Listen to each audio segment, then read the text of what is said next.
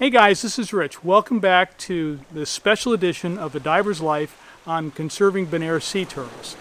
This is one of our favorite uh, uh, filming experiences. Today we're going out to Lac Bay and we're going to witness sea turtle conservation, Bonaire, and their volunteers do in-water surveys of these amazing green turtles uh, in Lac Bay. Um, and then what we're going to do is we're going to go meet with the manager of Sea Turtle Conservation Bonaire, named Kaj Schut. And Kaj is going to talk to us about all the work that they're doing. They're going to share with us how you can actually get involved as a volunteer uh, and how you can contribute and donate. You'll learn about how their work their work expands beyond just the island of Bonaire. It goes throughout the Caribbean. They get involved with other like organizations to help these sea turtles. The other thing you're going to learn, uh, which is a little bit on the sad side, is the main reason for these sea turtles being endangered is because of us, humans, and, and how we might go about actually addressing these issues together. So hopefully this is a call for us to act. The next thing we're going to do is we're going to take you out to Bonaire's wild east coast and we're going to do a shore dive at the southern end of Turtle City uh, so that we can get in there and experience these sea turtles in the wild without a lot of other people. And it's going to be absolutely beautiful. We take our big camera and we're going to have just a lot of fun. So with that, let's go turtling. I think that's a word, turtling, yeah.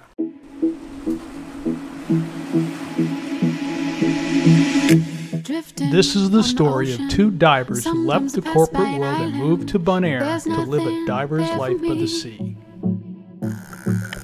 Many only dream about this life. Our hope is to inspire you through our experiences and stories so that you can live the dream too. This is a diver's life. The water and sky, reflection in my eye, and it's true, so true that my life, that my life is a she shine.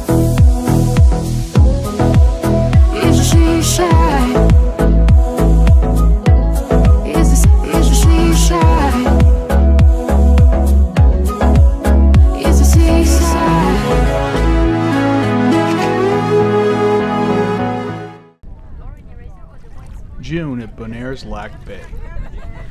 Lac Bay is the most important foraging area for green turtles which eat seagrass. We don't see many hawksbills in Lac. They feed on sponges.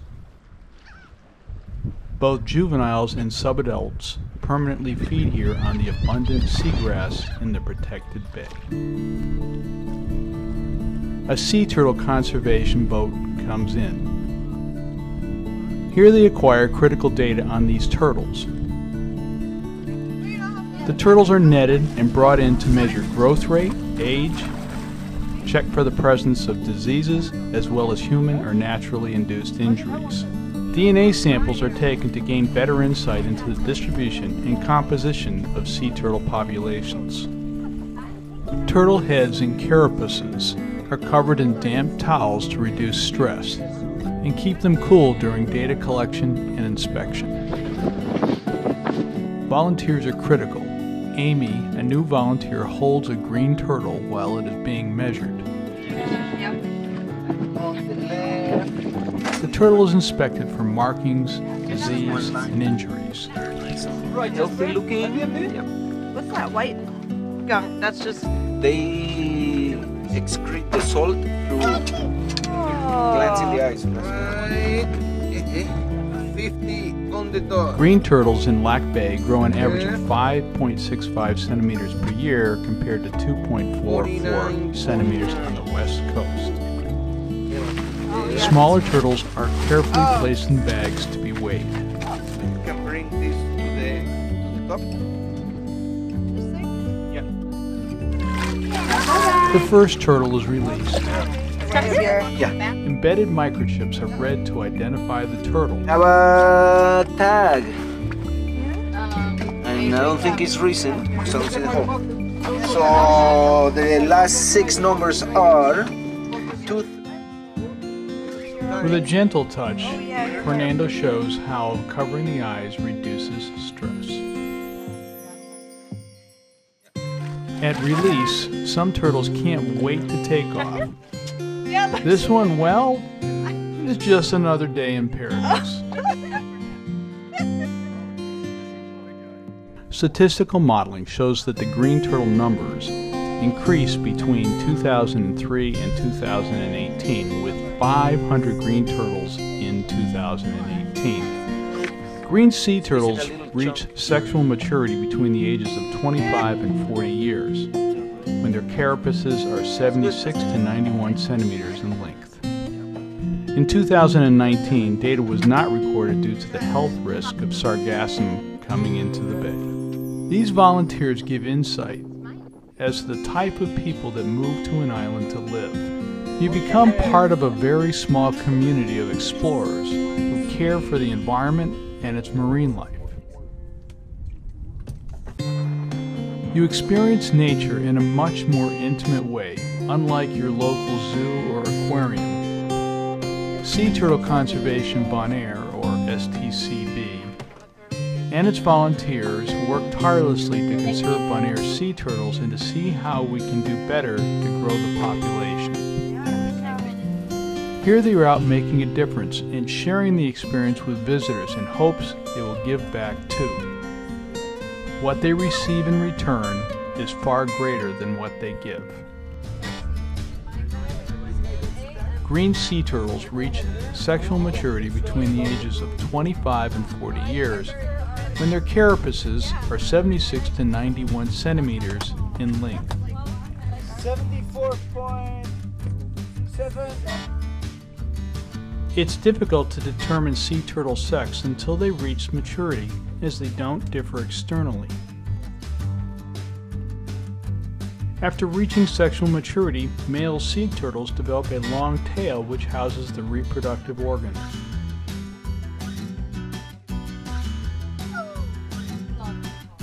Weighing this big green requires some ingenuity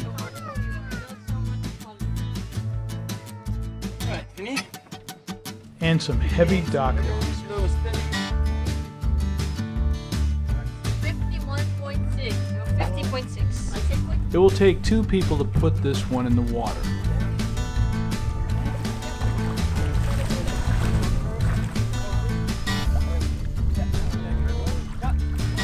Let's meet with STCB's manager, Kaj Schut, to learn more about the organization and how you can help. Hi guys, this is Rich. I'm with the manager of Sea Turtle Conservation, Conservation Bonaire, Kaj Schut, and we're going to ask a few questions. Um, so, well, first thing I'd like to say, uh, how much respect we have for your organization. You really are a uh, sense of pride for the people of Bonaire. One of the things that we've noticed is you've invested in a number of things in the last few years. And one of them is you've got that new boat which extends your, uh, your range uh, within on Bonaire. But what the things that have you uh, added to extend your capabilities on the island? We have the Sundance, which was donated to us, which is our small boat that you went to Klein Bonaire with. Yeah. And then we got Talassa, and Talassa is also a donation, so it's uh, a donation to our organization, for which we're very happy. Um, because the Talassa enables us to do the work on the west coast, so when we're counting turtles, it's very easy to go from the south end to the north end, whereas with the Sundance it was always a bit tricky. Yeah. Um, and it also helps us with explorations of the East Coast. So that's something that we want to do in the future, is look at the East Coast and see how many turtles live in that area. Um, so as an organization, I think for us the most important aspect to continuously invest in is our volunteer database. Mhm. We're a small organization, we only have a few staff. Um, so we really depend on our volunteers. Volunteer beach keepers that patrol the beaches every single day during the nesting season. We have people helping us snorkeling, counting sea turtles on the west coast. We have people that help us in Lac Bay when we go out there for our capture research. Uh, people helping us with education presentations. So without those volunteers, our organization would not exist. Right. So that's definitely the most important aspect to keep investing in. What are the greatest challenges that affect the growth of the sea turtle population? What can people do to help change and improve that uh, and grow? Right, so sea turtles are endangered or critically endangered. They're not doing too well, and that's mostly because of us, of people, um, the threats that we pose. Yeah. So climate change is one major aspect. Um, climate change affects the, the sex ratio of the sea turtles because the sex of a turtle is determined by the temperature of the sand during incubation, so in the, in the nest. Okay. If temperatures are warmer, we get more females. If it's cooler, we get more boys. So we always say hot chicks and cool dudes, which is an easy way to remember. So with temperatures rising, that's a, a major threat because the balance will, will be lost, right? We'll have more females, less males. For Wow. some part, that's okay because a boy can impregnate more females, Yeah. but we do need a balance of some sort. Sure. So right now we're actually involved in temperature research. We've placed data loggers in the sand on our nesting areas, um, and we're looking at the data to see what the temperatures are doing on the air. That's a year-long study, so we'll have to wait for the data to be collected.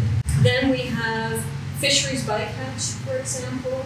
They have those uh, shrimp trawlers, the big nets, turtles get stuck in those, the, the floating ghost nets that, that are around. Um, turtles get stuck in buoys. And with turtles, they can stay underwater, but they do have lungs, so they need oxygen at some point. So when they get stuck on something under the water, they cannot breathe, they will drown. If they get stuck on something that's floating on top of the surface like that, on the water, and they cannot go under, they'll starve because they won't be able to eat. Um, so it's a, a delicate balance. One of the threats that is related to pollution and that we see on Bonaire as well is a disease called fibropapillomatosis. Yes, I remember that. We, uh, I actually volunteered on one of those sea turtle uh, surveys a few years ago, and I remember I didn't see them this year. I didn't see some. We have some, You yes. do, yeah. Yeah, so every year it varies somewhere between 5 and 30% of the turtles that we capture in Lac. Yeah. We used to do the same capture mark recapture studies in Lagoon, Yeah. uh, right next to the landfill, Okay. but we stopped doing that because it was too dangerous for our own health. Yeah. But the number of turtles that we found there with fibro, it's a tumor-like disease, um, was incredible. Really? so we really think it's related to, to pollution. Yeah. The water quality over there is not the best. Exactly. Yeah. Exactly. And it affects green turtles. Green turtles are the most important population in Lac Bay. It's a, a green turtle hotspot Yes. because of all the seagrass. Yeah. So it's a shame when we see those turtles and we can't really do much about it. If the tumors are small, we can tie them off and that helps. But if they get bigger, we don't have a, a vet here that specializes in turtles or a sea turtle hospital like we have in the States. Mhm. So we're, yeah, our options are limited. So those are some of the threats that we have. Um, luckily, sea turtles on Bonaire are protected and respected uh, by the people that visit our island, by the people that live here. So poaching, for example, is not such a big issue anymore on Bonaire. However, sea turtles migrate, so in other places where they still have uh, open season for catching turtles, it's uh, yeah.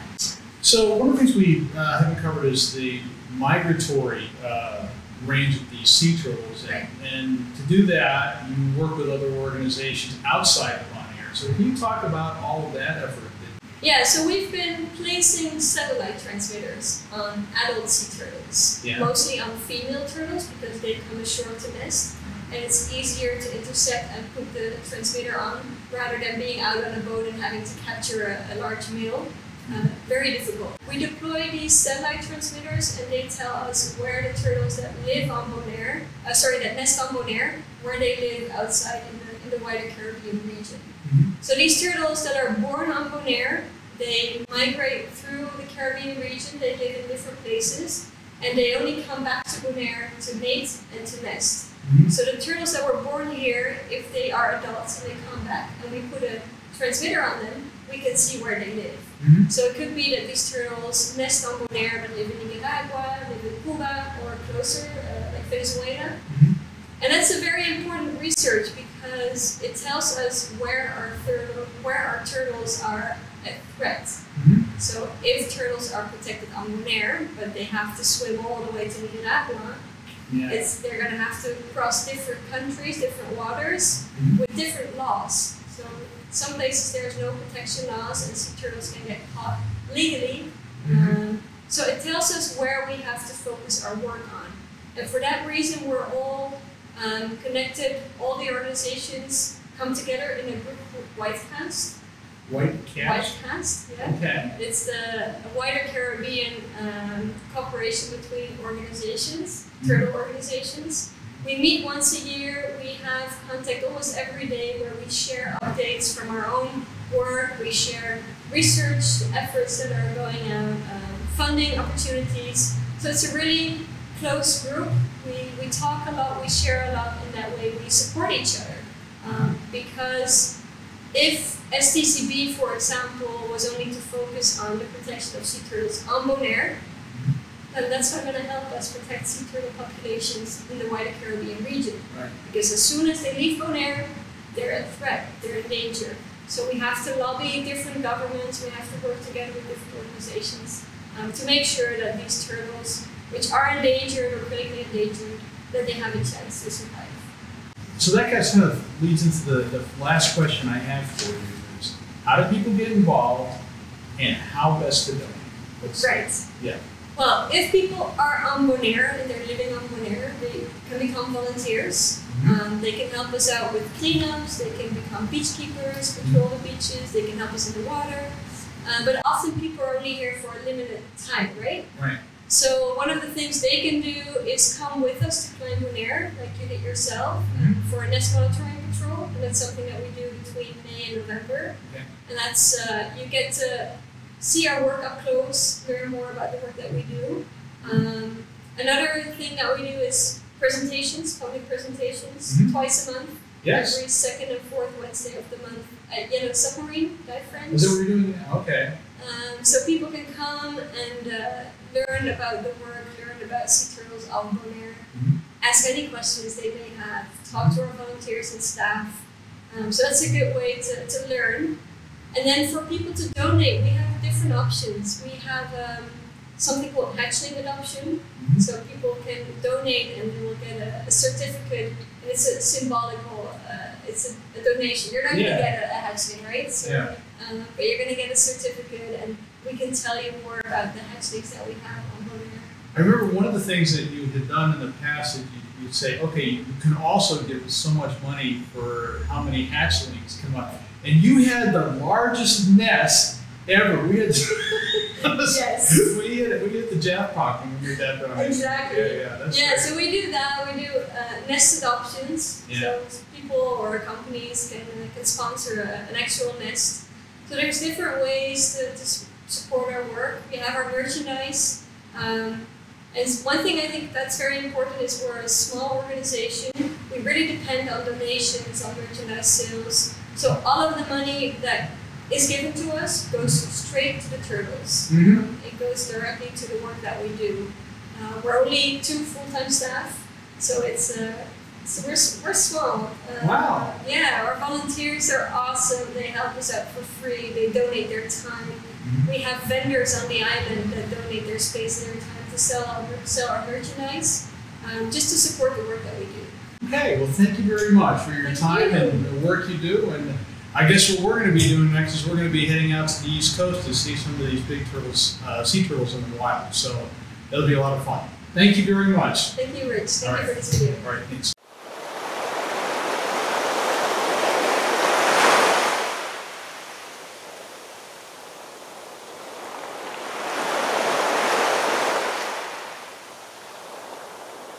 Bonaire's wild east coast, south of the old shrimp farm. This small channel leads out to the wall at the southern end of Turtle City. The bottom of the channel is lined with razor sharp hard corals which quickly shred your dive booties, and falling can be treacherous. This place is normally exposed to high waves that hit the coast. A strong current can quickly get you into trouble. Dive boats don't typically come here, so the turtles are less stressed. In the distance, you can just make out the light color of Lac Bay and the coral reef that protects it. That is where the local dive operators will take you. But not us. We need to film them in the wild without lots of humans. We'll take advantage of a drop in the wind and sacrifice some booties to see them up close. The road to Sorobon is a desolate one that takes you out to Bonaire's east coast south of Lac Bay. We take a right past the windmill and head south. We pass the old abandoned shrimp farm and take a left.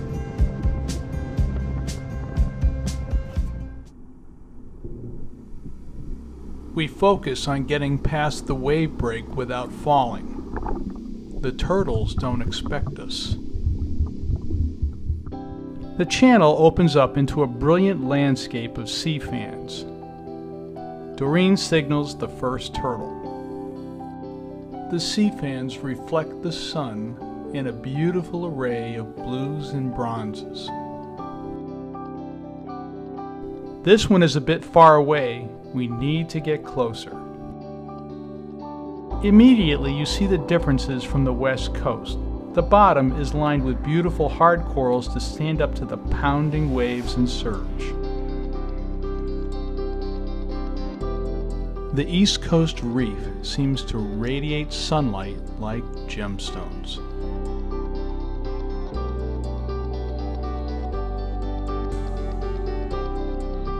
Doreen glides above the beautiful coral field. The lighting is amazing a school of yellow goatfish.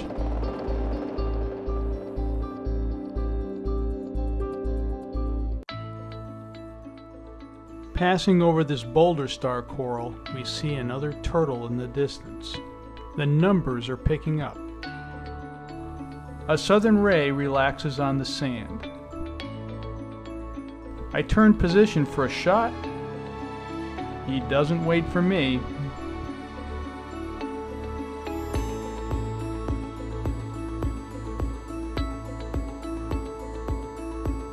beautiful star coral, and of course some brown chromis.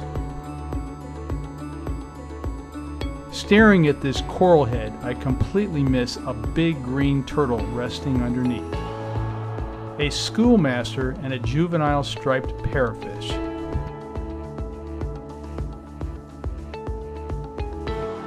The angle of the sun is perfect. Even a little color goes a long way.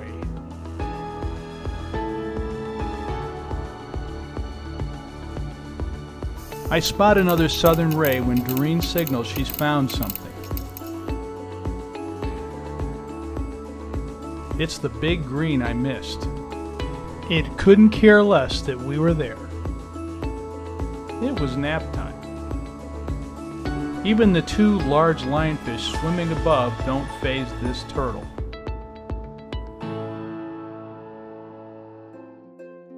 Doreen spots another turtle.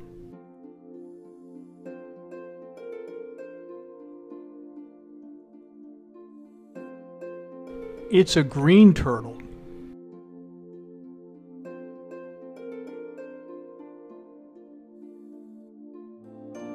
And this green is just chillin'.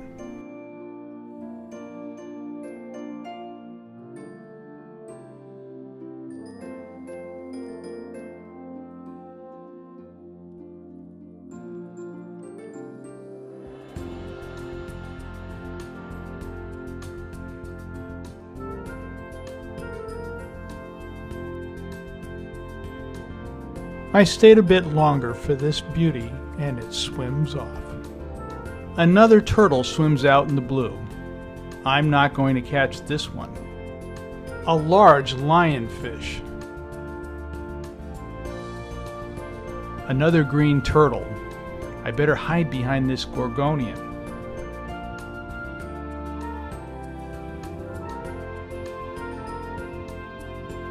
I peer over the side and the turtle spots me. This turtle had a deformed right rear flipper. It doesn't seem to slow her down. Doreen shares a moment with this amazing animal. The sun is starting to set and we head in. If you enjoyed this video, please like it and hit the subscribe button and the bell. It goes a long way to supporting this channel and helps you to know when new content is released. Thank you for watching.